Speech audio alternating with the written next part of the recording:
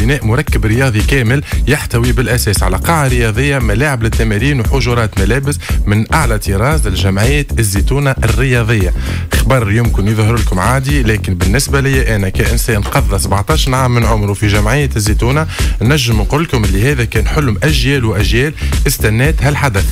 للي ما يعرفش الزيتونة الرياضية هي جمعية عريقة تأسست في 1920 أنجبت العديد من النجوم في كل الرياضات منهم نسمي نجوم خاصة كرة اليد اللي surtout الاسامي اللي تعرفوهم سليم زهاني كريم الزغواني ماهر الدالي غازي الواتي معز بن شويخة ونجيب بن ثاير مدرب الترجي الحالي. ورفيق في كره اليد رفيق بوشناق ما كملش. رفيق بوشناق لحظة عاد. في بالكم رفيق كان يكور في الزيتونة؟ في بالك كان في l'équipe nationale 11 17 l'équipe nationale senior.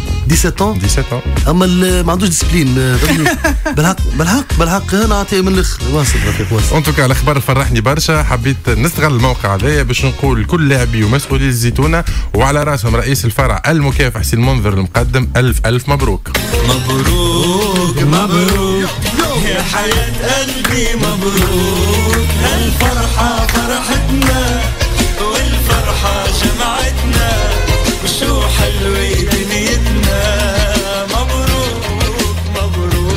نمشيو للمغرب وين تمكن فريق الرجاء البيضاوي المغربي من الفوز على أتلتيكو مونتيرو البرازيلي بطل أمريكا الجنوبية بثلاثة أهداف مقابل واحد في نصف نهائي كأس العالم للأندية. انتصار مكنه من تحقيق إنجاز تاريخي باش يصبح الرجاء أول فريق عربي وثاني فريق إفريقي. بعد تي بي مازامبي يترشح للدور النهائي من نفس المسابقة. وين باش يقابل بطل أوروبا العملاق الألماني بايرن ميونخ. الرجاء لعب بدون مركبات سيطر على مجريات المقابلة وفرض طريقه لعبه على الفريق البرازيلي. وكان بإمكانه تسجيل أكثر من ثلاثة أهداف الاهداف لو أحسن مهاجميه استغلال الفرص اللي أتيحت لهم طيله 90 دقيقة. إنجاز كبير لفريق الرجاء المغربي على قد ما فرحنا على قد ما أثارت اللقطة اللي صارت في نهاية المقابلة استياءنا واستياء كل مشجعي الرجاء في مختلف البلدان العربية. اللقطة كما شافها مغلوبكم تمثلت في هجوم ثلة من لاعبي الرجاء بعد إعلان الحكم على انتهاء بعد إعلان الحكم على انتهاء المقابلة على اللاعب رونالدينو. وعينك ما ترى للنور جوارات الرجاء وقفوا رونالدينو ما خلوهوش يتحرك. زوز على ركايبهم يفكوا له في سبادري طيب. واحد معنا ساق يحب على الكلاسيك واحد آخر معانكم كبش فيه تقول امه روحت من الحج وهو يلحلح على مريول رونالدينو مسكين مبهذل ما فاهم شيء وجهه صفار وصنية عرقت يتخيل روحه تبراكة اعرف بالفجعة الراجل ولا آه ولا يوري فيهم صبعه الفيستيارات قال لهم الفلوس غادي في بالهم حاجتهم بشوية فلوس. الجوارات المغاربة دخلوا فرحانين كل واحد هز مكتب له من ربي اللي شارت شارت واللي ربايت واللي لسان نتاع سبادري باش يعملوا كرافات ممكن. حسيلو شيء أسف. ورونالدينو من كار قطع يروح ترزون الحمد لله. اللعبة جات في المغرب. كان جات في بلاد أخرى. راهم تعداو تحويل وجهه تخيل واحد يسألوه يقول لهم تحويل وجه على رونالدينو. والله كان جات شرابوفا صح. ما رونالدينو بون. حسيلو ما نحبهاش أما آخر حلقة طلعت صحيحة. العربي عربي وزايد مركب. النقص غارقين فيه للعنكوش. الدنيا دنيا. عاطينه ثلاثة فوق تيران راهو يقدم مطلب باش يتصور معاكم. أما اش تحب تعمل؟ هذاك حد المخ. وربي قد الخير مع جوالات البيان. اش باش تعملوا حسيلو مبروك للرجاء الترشح والانتصار. وإن شاء الله حكاية البركاج. ما تعودش في الفينال. ديما في مقابلة الرجاء البيضاوي. وبعد لا أعلن الحكم على نهاية المقابلة وترشح الفريق المغربي للدور النهائي في مسابقة كأس العالم للأندية عمت الفرحة كل شوارع البلدان العربية وتحدثت الصحف والقنوات التلفزية على عبقرية فوزي البنزرتي ونجاحه في فترة قصيرة في غرس روح قتالية وانتصارية في لاعبي فريق الرجاء اللي كانوا افتقدوها من مدة. نزل فوزي البنزرتي ضيف على كل وسائل الإعلام المحلية والعالمية وتحدث على فرحته بالترشح وسعادته بالمردود المتميز والقدرة الفائقة على التأقلم مع طريقة لعبه اللي أبداها لاعبو الرجاء. وعبر فوزي البنزرتي على مدى فخره وسعادته على الثقة اللي منحتها منحتها له إدارة فريق الرجاء بتعيينه على رأس الفريق. أسبوع تقريبا قبل انطلاق فعاليات كأس العالم. إلى حد الآن كل هذا يفرح لأنه إنجاز مدرب الرجاء محسوب على الرياضة التونسية وهو إنجاز كل الرياضيين والتونسيين بصفة عامة. سي فوزي البنزرتي تلقى مكالمة هاتفية من الملك المغربي شخصيا هناه فيها بالفوز وتمنى له حظ سعيد لمقابلة النهائي.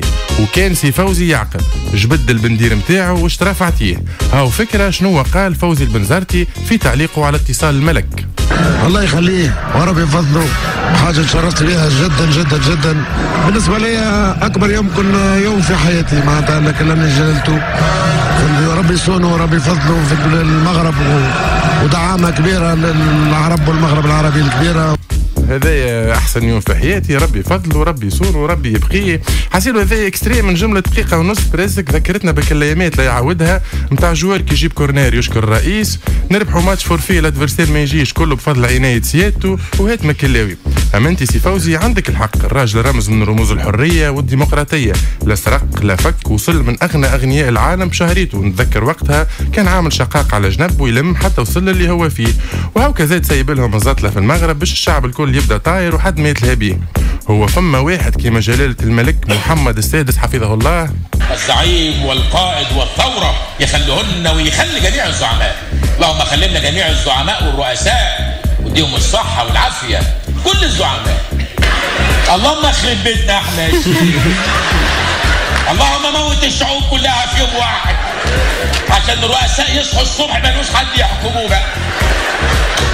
ملوش حد يحكموه بقى. يجيبوا عقد عمل ويروحوا السعودية بقى. السعودية إن شاء الله يخلط على صاحبه غادي ويصير فيه أكثر من اللي صار في صحيبنا خاطر الزوز يزيدوا على بعضهم كان بالصبر. أما خسارتك يا سي فوزي. معقول نشكره على الاتصال. ونستو لازم ربي يخليه ويبقيه وأحسن يوم في حياتك. لهالدرجه حياتك عدم.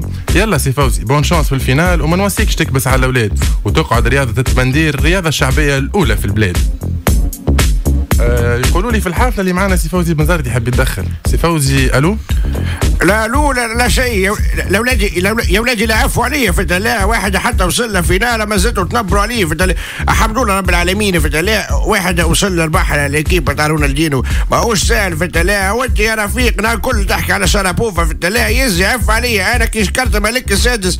أنا ما هوش هكاك في الله إن شاء الله يجي نهار ونولي فوزي السابع في لا أكثر ولا أقل والقفه تجيبه في الله ربي يسهل سي فوزي. بعد المردود المتميز اللي قدمه لاعب من نادي صفاقسي فخر الدين بن يوسف واللي ساهم في تتويج فريقه بطولة الموسم الفارط ورفعوا الكأس الكونفدرالية الإفريقية للموسم الحالي. تهاطلت العروض من عدة فرق على لاعب ال CSS ومنها عرض تقدم به مؤخرا من فترة ما تفوتش زوز أسابيع فريق من الدرجة الأولى الفرنسية.